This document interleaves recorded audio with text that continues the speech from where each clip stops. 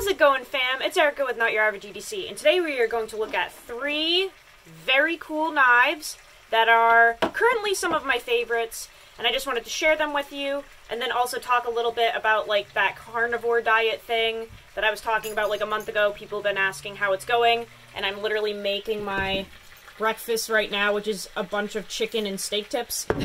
so, um, I figured while I'm cooking and just kind of hanging out here, we could talk a little bit about knives and meat. Why not, right? Um, okay, let's do the knives first in case some of you aren't interested in the diet thing.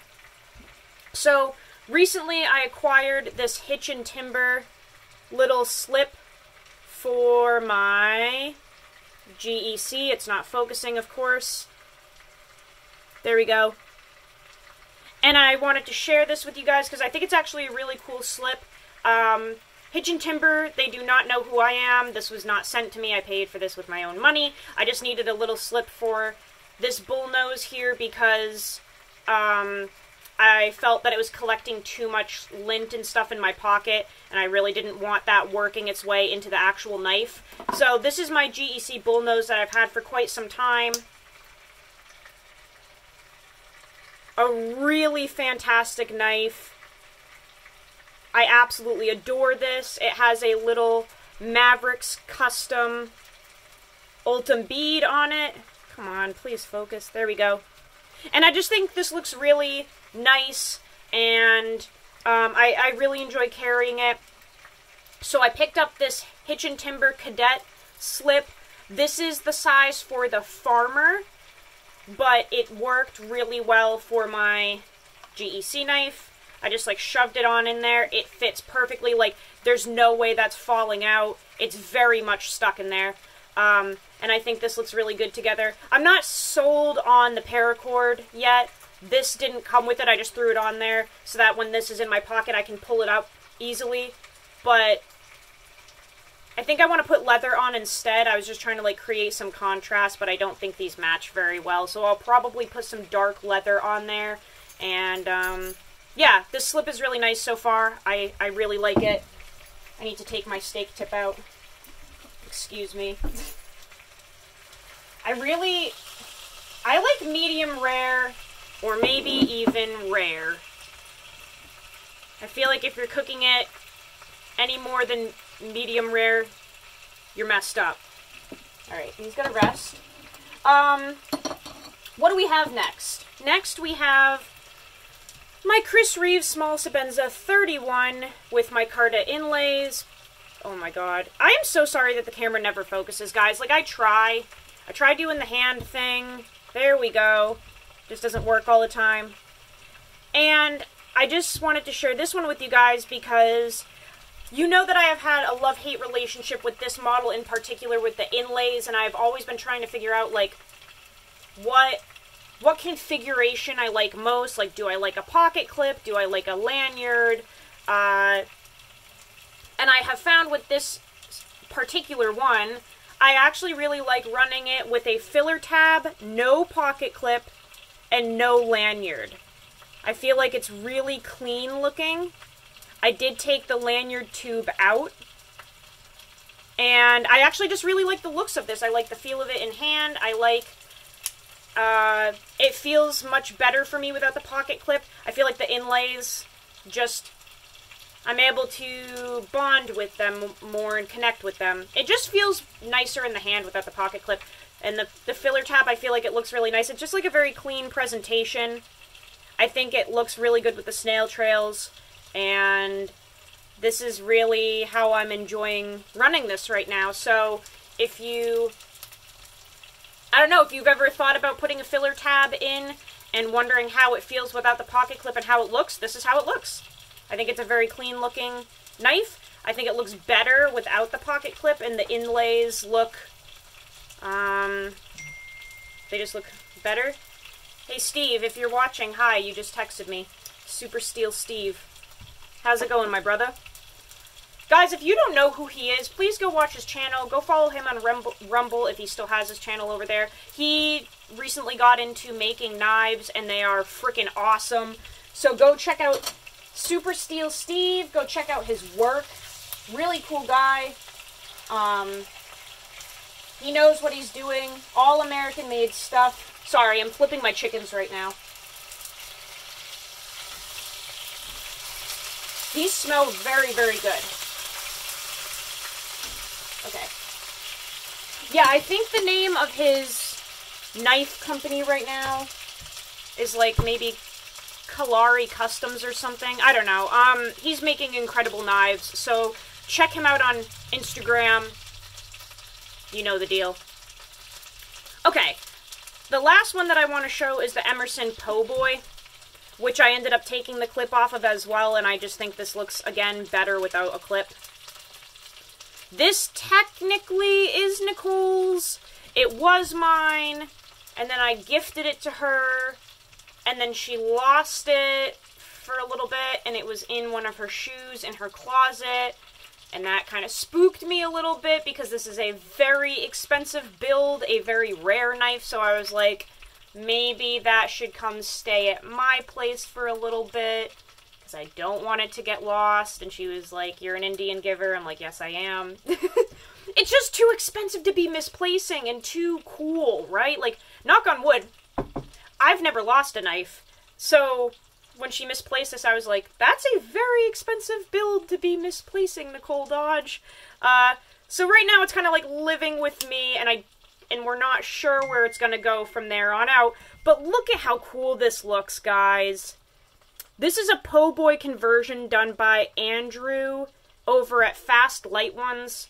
Um, if you want more information on his work, I have a whole video like dedicated to him in the Po Boy conversion. So um, that should be under my knife reviews playlist. So if you want more info, uh, go check that out. But this is this is called a Po Boy conversion, and basically every single thing about the Emerson Mini A100 is altered to be more um, customized and a lot of people just like this configuration better because it's less bulky and less rugged feeling than the original. So like I have an original here. This is like a pretty stock mini A100. The only thing I did is put a Pete Gray thumb disc on there, a monster thumb disc, which is like 25% larger than the original. Of course, we're not going to focus, but yeah, this is kind of your typical mini A100 build from factory with a factory clip and stuff. And some people just want a more refined version of this knife.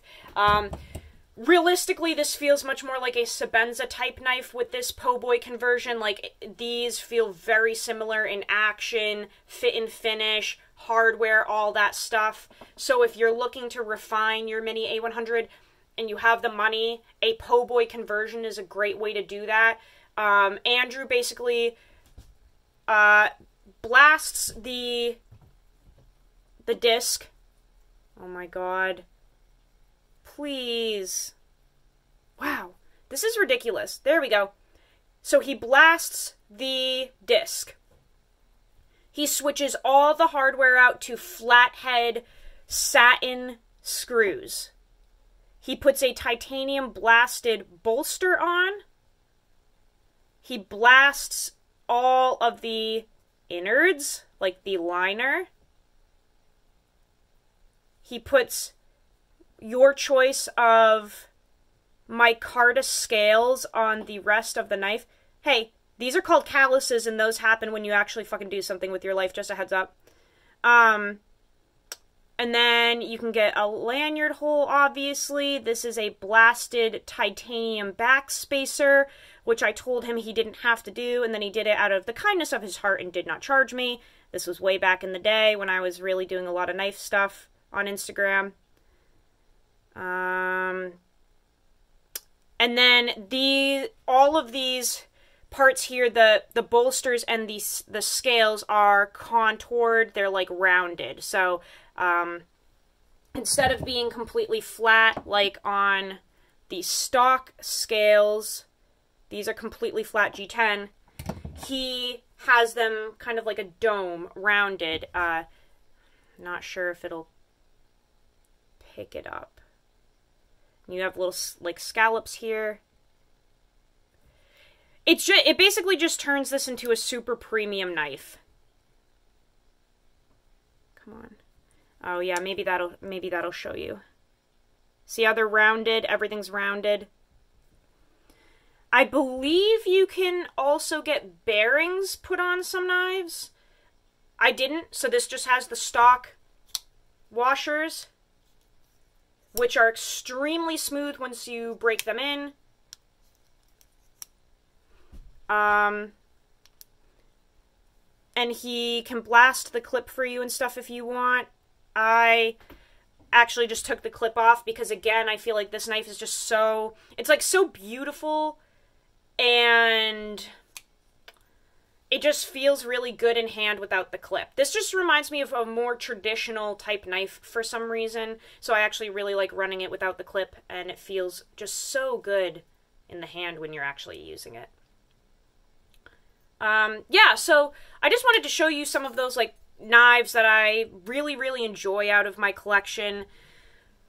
I've noticed lately that I like running them without clips, which is also intriguing to myself. I don't know why I'm going through a phase of not wanting to run a pocket clip, but like I've really been enjoying this. I really enjoy um, these two knives without clips. I just think they look very beautiful and clean. Some people think that they look like they're actually missing something, but to me, I don't know. I just I just really like the look of these. So, yeah, just just something I wanted to share with you guys and look at some knives. It's really hard sometimes for me to make content daily when I don't have any new knives to put on the channel. Um, so I'm sorry that sometimes we're looking at the same things over and over again. I'm doing my best. I refuse to get monetized or sponsored or anything by YouTube, and I refuse to get stuff sent in from other people unless it's from like the States or a reputable person. Like, you guys know the whole Chinese stance. So, like, sometimes we just are looking at the same stuff until I have updates on other things. We do have some knives coming in for testing. Like, Steve is sending me a knife. Um, I don't know if it's a kitchen knife. I don't know what kind of knife it is. He didn't tell me. He's just he he made me a knife and he's sending it in. So we'll be able to look at that and test it and review it.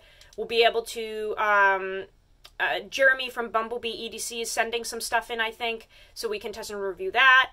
And a friend that I recently made on this platform, I will not say his name because I don't know if he wants me to. He's sending me a Spyderco knife for testing and review. So we're, you know, we're chugging along. We're, we're getting a grip on things. Um, the more the channel grows, the more people will want to send things in. And people have always wanted to send things in. I just haven't accepted it up until now because I felt bad, I guess. But you guys are like begging for more content and more real life testing and sharpening. So I kind of just had to cave and be like, it's either accept the Chinese pieces of shit or presents from people that I actually like we went with presents from people we actually like. Also, this video may not show up for some of you guys because I swear and now YouTube is like flagging it, so I'm sorry.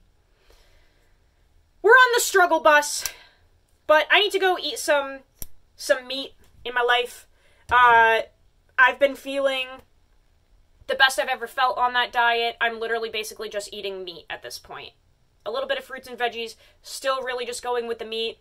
The mental clarity is out of this world. I have really leaned out. Um, I feel incredible. My appetite is way more controlled and not as. I'm just not as hungry all the time as I was when I was eating different foods. Um, emotional stability, way better than it's ever been. I actually I actually I I recently unblocked somebody that I really disliked for a really long time and they're always bitching about how I blocked them. So I unblocked them, which is like a huge deal for me because I'm really sensitive about certain things, but like we're getting our emotions together, not being as sensitive. Uh yeah, I don't know. I feel fantastic, guys. I really do. I feel like um, carbs kill. Carbs are not good for us. We eat too many of them, and America America. America has an obesity issue, and I think eating more protein and fruits and veggies is the way to go. Uh, I will make a more in depth video about that moving forward, but just wanted to give a quick update because we have some delicious steak tips to eat. So I'm gonna go eat these and then I need to go to work. I love you guys. I need to go use your shit. Hold on. Go use your shit. Whoosh learn how to sharpen your knives. Um, I will see you guys when I go to your mom's house. I love you all very much. I will see you soon. Take care.